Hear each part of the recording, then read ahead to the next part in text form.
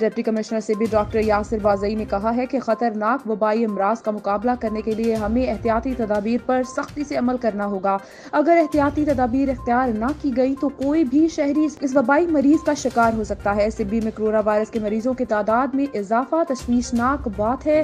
पाँच अफराद के टेस्ट मुस्बत आए हैं। कोरोना वायरस के मरीजों में इजाफे के बाईस लॉकडाउन की मुद्दत को पाँच मई तक बढ़ा दिया गया है। शहरी लॉकडाउन के फैसले पर अमल दरामद कर। इन ख्याल का इजहार उन्होंने अपने ऑफ़िस में मीडिया से बातचीत करते हुए कहा, इस मौका पर additional deputy commissioner Mir Rahmatullah Mashkoori ASP Mian Husnain Iqbal, district Nazim सेहत doctor Mohammad Akbar Solangi SHO city Mohammad Asif, Sibi press club के सीनियर नायब सदर मीर सलीम गशकोरी के अलावा सिब्बी प्रेस क्लब के मेम्बरान और अहदेदारान भी मौजूद थे।